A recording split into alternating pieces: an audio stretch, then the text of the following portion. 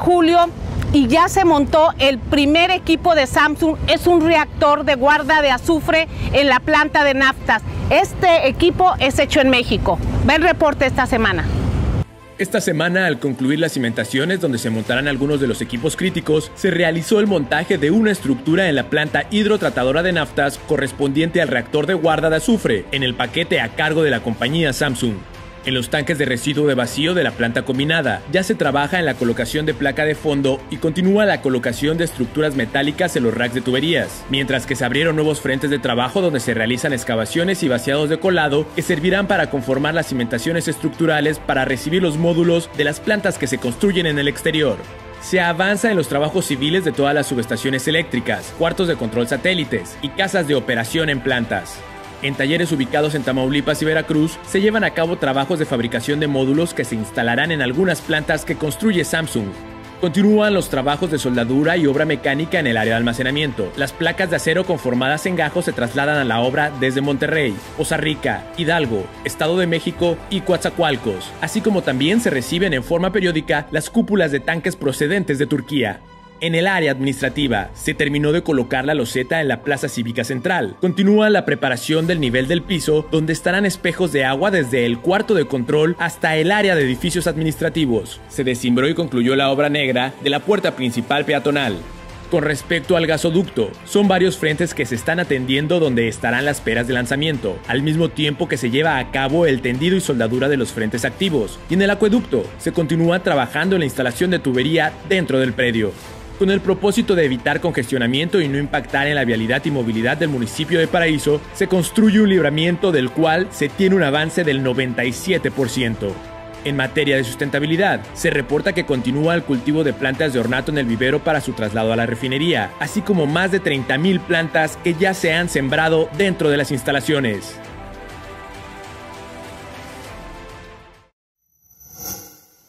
Gobierno de México. La Secretaría de la Defensa Nacional informa los avances en la construcción del Aeropuerto Internacional Felipe Ángeles al 5 de julio de 2021. En la pista norte y central, plataformas y rodajes, se realizan los trabajos de tendido de la capa de base hidráulica, de concreto magro y de concreto de alta resistencia como superficie de rodamiento, así como la colocación de mezcla asfáltica en márgenes de calles de rodaje. En la terminal de pasajeros se efectúa la colocación de plafón de doble nivel en pasillos del centro de datos generales, la aplicación de pintura en diferentes áreas y la colocación de porcelanato en sanitarios temáticos. En el eje troncal de circulación y obras complementarias, se continúa con la aplicación de terracerías y pavimentos en vialidades, en el área de transferencia de seguridad se realiza el habilitado y armado de acero de estructuras. En la vialidad y barda perimetral se lleva a cabo la colocación de la reja galvanizada con picos de seguridad en la barda perimetral. En la interconexión vial tramo caseta Tultepec-Santa Lucía se ejecuta la perforación de las pilas secantes, así como la colocación de las vigas prefabricadas de concreto que conforman la estructura. A la fecha, se han generado 101.296 empleos civiles. Faltan 266 días de construcción. Gobierno de México.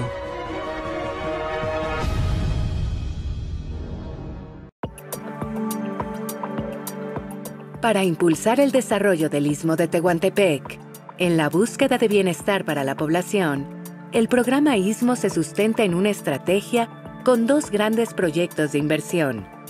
La plataforma logística que aprovecha la posición estratégica de la región y un ecosistema de producción industrial integrado por 10 polos de desarrollo. A continuación se informa el avance de obras a 5 de julio de 2021.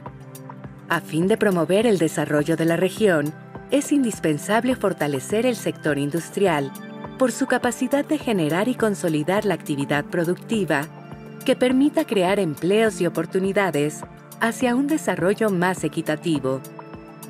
Para impulsar la actividad y las inversiones productivas, se integrará un ecosistema de producción industrial formado por 10 polos de desarrollo, que contarán con todas las condiciones para facilitar e incentivar las vocaciones y cadenas productivas regionales se diseñan para albergar industrias con infraestructura, conectividad e incentivos para detonar la competitividad de la región y atraer inversiones que fortalecerán la economía local y crearán oportunidades. Se trabaja para integrar un ambiente favorable de negocios.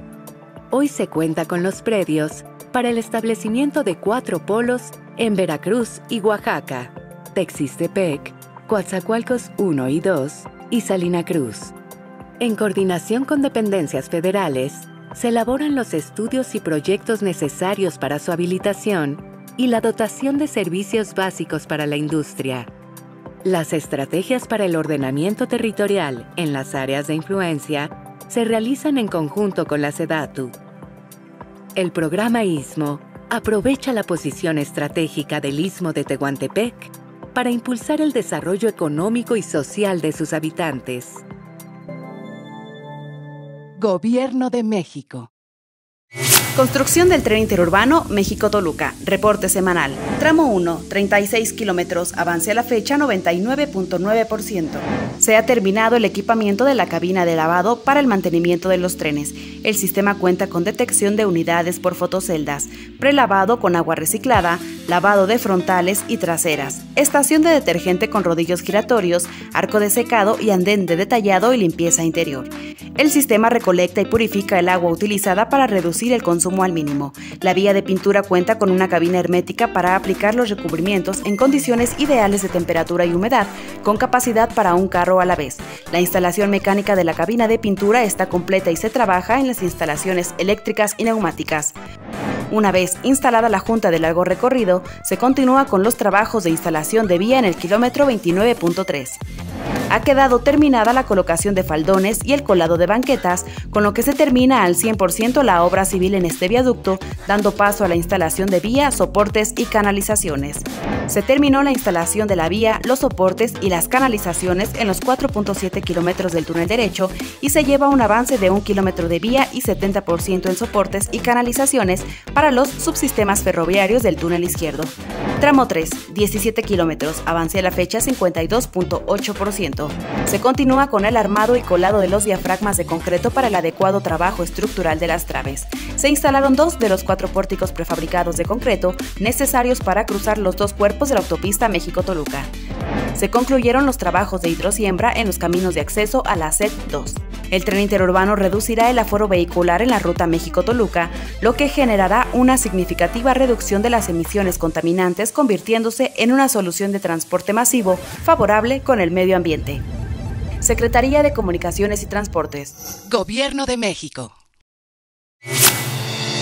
Tren Maya, reporte de avances, semana 37 de 157. En el tramo 1, avanzamos con el suministro, formación y compactación de terraplén. En el tramo 2, comenzamos con la producción de balasto y continuamos con la fabricación de durmientes. La cifra asciende a 326.525 piezas. En el tramo 3, avanzamos con la construcción de pasos vehiculares y las actividades de obra de drenaje transversal. También clasificamos y resguardamos el material desmantelado. En el tramo 4, progresamos en los trabajos de terracerías, formación de terraplén, subyacente y subrasante. Fonatur, en colaboración con el INA, protege y recupera el patrimonio arqueológico en la ruta del Tren Maya. Al día de hoy, hemos establecido 63 operativos arqueológicos que implementan la siguiente metodología. 1. Desmonte y limpieza de vegetación. 2. Levantamiento topográfico y trazado de excavación. 3. Excavación arqueológica. 4. Registro de elementos arqueológicos. 5. Levantamiento de plantas de excavación por medio de fotografía. 6. Registro de perfiles estratigráficos. 7. Elaboración de base de datos para registro tridimensional. 8. Análisis de materiales arqueológicos. 9. Generación de los informes y de dictámenes técnicos. A la fecha, hemos completado el 98% del recorrido en cuatro tramos. Expertos aseguran que hemos adelantado 100 años de investigación. Al día de hoy, hemos descubierto 14.066 monumentos arqueológicos en los primeros cuatro tramos. Los empleos generados por los cinco tramos en obra del Tren Maya ascienden a 69.063. El Tren Maya avanza. Comisión Nacional del Agua informa los avances de la presa de almacenamiento Santa María Proyecto Baluarte Presidio. Túnel 1. Continúan los trabajos de perfilado en el portal de entrada, así como la colocación de columnas metálicas, concreto lanzado y concreto para empaque de columnas metálicas. También se efectúa la colocación e inyección de anclas de fricción y de sujeción de columnas metálicas en la sección media inferior del túnel. Se instalan marcos metálicos para túnel falso. Túnel 2. Se realizaron trabajos de barrenado, excavación con uso de explosivos, perfilado de la bóveda y colocación de concreto lanzado, además de la colocación e inyección de anclas de fricción en la sección media superior del túnel. Túnel 3. Prosigue la excavación por medio de explosivos, colocación de concreto y habilitado de acero de refuerzo para la losa de embocadura, así como el perfilado, colocación de concreto lanzado y de anclas en la bóveda del túnel. Asimismo, se realizó el cimbrado y la colocación de concreto y anclas para la construcción del monolito. Túneles crucero. Se lleva a cabo la construcción de dos túneles que comunicarán a los tres túneles de la obra de desvío. Dichas estructuras permitirán agilizar los trabajos de excavación y tratamientos debido a que al estar en proceso las actividades en las embocaduras, el acceso a los túneles por el portal de entrada será restringido. Tienen un diámetro de 6 metros y una longitud de 28 metros. El primer crucero entre el túnel 1 y el 2 se encuentra concluido y está por iniciarse la construcción del crucero que comunicará el túnel 2 con el 3. Con estos trabajos se asegurará el cumplimiento en tiempo y forma con el programa de obras. Vertedor 1. Se realizan trabajos de barrenado, así como la colocación de malla electrosoldada, concreto lanzado, anclas y drenes sobre taludes en el canal de descarga. Vertedor 2. Sobre el talud del canal de llamada se lleva a cabo el barrenado para la colocación de anclas y drenes, así como el curado de concreto de la losa en el canal de descarga. Banco de materiales. Se continúa con la extracción, acarreo y almacenamiento de aluvión, del cual se obtienen la arena y grava empleadas en la producción del concreto que es utilizado en las diferentes estructuras de la presa. Con esta obra, el Gobierno de México refrenda su compromiso de apoyar el desarrollo y la productividad del campo mexicano y asegurar el abasto de agua para la población de Sinaloa. Con agua